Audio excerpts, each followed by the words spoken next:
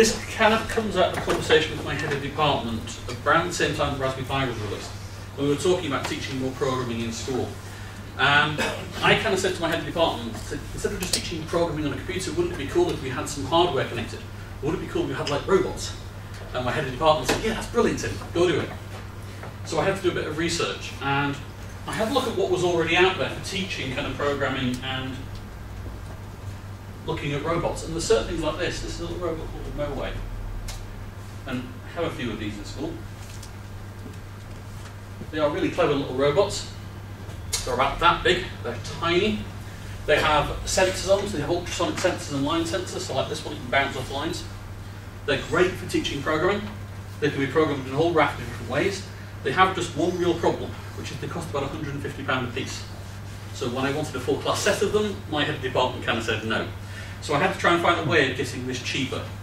And rather than the Raspberry Pi, which had kind of just come out, I wasn't sure what to do with, I came across the Arduino. I actually came across it the first Raspberry Jam. And what I realised is I needed this. I needed a chassis for my robots. So I needed a platform to put them on. I needed some motors, I needed a brain for my robot, and I needed some power. And I came up with a design which I called the ShrimpBot, a whole raft of different versions of this now. And the idea was how cheap could I build a robot? And the basic versions of these, which are knocking about in wood at the moment, cost with the motors £5 to build. I already had some Arduinos in school, which meant for £5 I had a student a class set of robots they could have whizzing around the classroom and doing various things. As far as power is concerned, they run off a 9 volt battery. These are gone through a whole raft of different versions and sizes. The great thing about these is, whereas my little robots, where I panic when they get near the edge of a desk and they're going to fall off, I don't really care about these because if it crashes and breaks, it's going to cost me about £2 to recut the plastic. It costs about 50p to cut the wood for them. So they're really kind of reusable. And then we also found that we had some big tracks in school, and one of them got broken. Honestly, it got broken. So instead of sending it back, I pulled it to pieces and winded it up with an Arduino and motor controller, and it made quite a nice robot. And I have a Dalek, which was one of my last ones, which again, we found we pulled it apart and wired a motor controller up to it, it worked as a robot quite well. we have a few other of these knocking around. But we reached the point where it was great for teaching programming, but we reached some of the limits of the Arduino, and we wanted something a bit more complicated. So we wanted a Raspberry Pi robot. So we bought some Raspberry Pis, and the question was, what do we need for a Raspberry Pi robot? So we realised it was pretty much the same. We still needed a chassis, which we already had. We needed motors, we already had those. Raspberry Pis and SD cards, we had those fortunately. We needed some power, we needed some Wi-Fi adapters, and we needed some other bits and pieces. So the quest then was, how cheap could we buy all of these bits? Because we had six Raspberry Pis, so we wanted six robots. Unfortunately, fairly limited budget, we had to limit this down. So we were fairly lucky, we managed to get our hands on some cheap tellies. We were actually needed six monitors for one of the rooms in our school. So the technicians, instead of buying six monitors, we bought six TVs. We actually managed to get TVs cheaper than the monitors they were going to buy. So they're now just kind of dual purpose. They act as monitors quite nicely, but also they connect to the Raspberry Pis. As far as power is concerned, I have a variety of little phone chargers that we picked up. They're about 15 quid on the internet.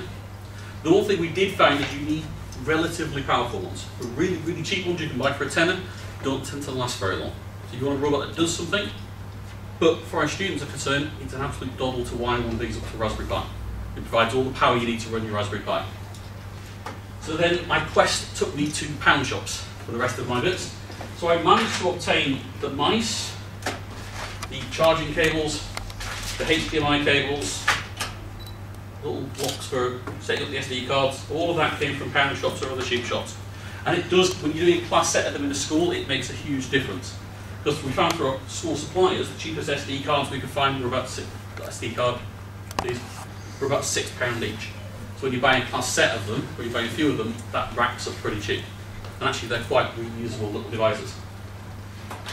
So we ended up with some basic Raspberry Pi based robots. We did come across a few problems.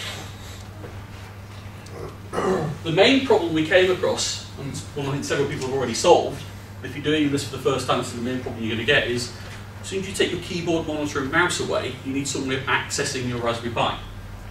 Now, one simple way is you can use something called SSH to tell terminal in. That gives you the same terminal the Raspberry Pi has, and you can type commands in. We found that worked really well for our Year 10 students who are starting to learn Python. They could apply that straight to the Raspberry Pi. But the other problem we had was some of our students, especially in Year 8, they wanted to be able to see the actual desktop. So we installed something called X11 VNC. VNC has been around for quite a while. It allows you to remote control computers. The reason we found you need the X11 version is most versions of VNC on the Raspberry Pi create a virtual desktop.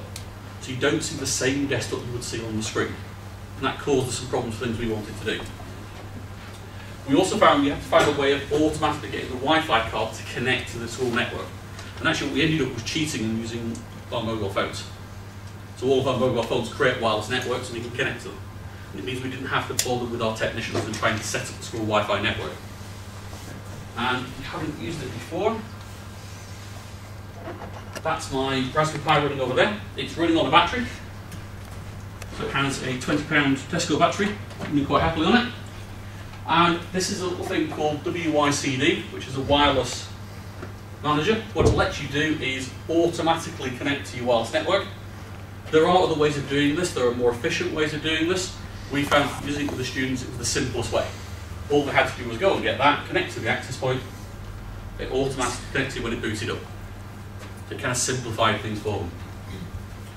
Um, and that was pretty much it. They ran Scratch or they ran Python, they've had the robots trundling around the classroom and working. We haven't yet tried it with more than six at once. That's one of the ones we're looking at. The next project my students have in mind is they want to wire up a webcam to the Dalek so they can have it trundling around the school, watching people. They have an idea for creating something that will patrol the corridors looking for students out of class. But it is kind of one of the great things about the Raspberry Pi that allows for the flexibility. There is a new version the ShrimpBot design, so if you are a teacher in school or you've got access to a laser cutter, you can cut that chassis out. Like I said, out of wood it costs less than a pound. So it gives you a really cheap starting point. And the great thing about these is we can almost give them away to students who want them. Whereas when you're looking at the other things that are available, at £150 a robot, we're a little bit protective of them.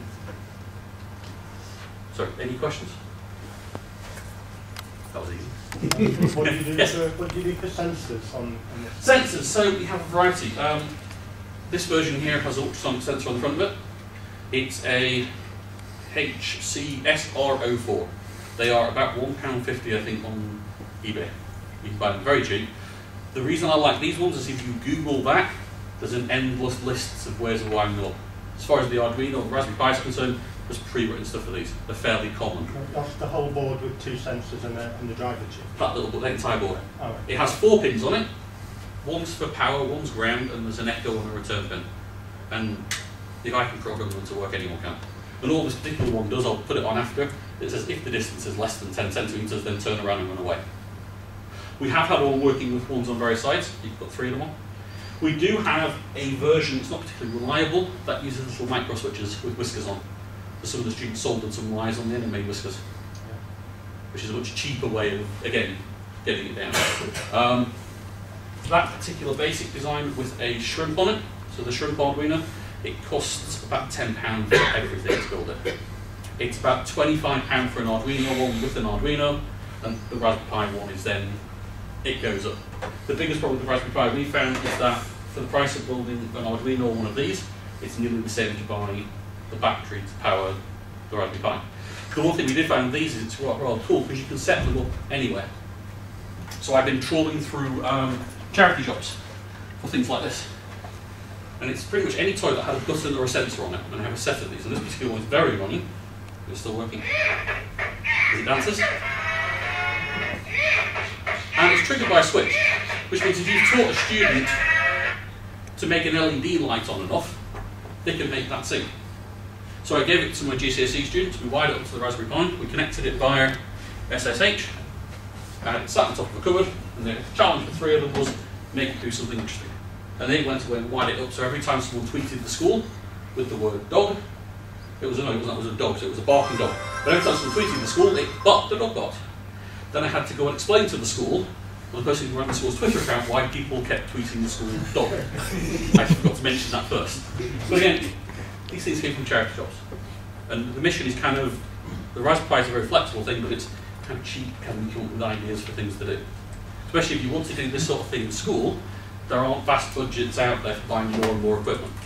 And it has to be a reusable piece of equipment. For a Raspberry Pi is concerned, if I come in along and said I want a Raspberry Pi because I can build that robot with it for three lessons, I wouldn't get the money. But when I start saying I want a Raspberry Pi because we can put a display board outside the classroom which students' video is showing, and we can make things for Twitter and we can make things that do this, it kind of makes it a better argument. Right, thank you very much.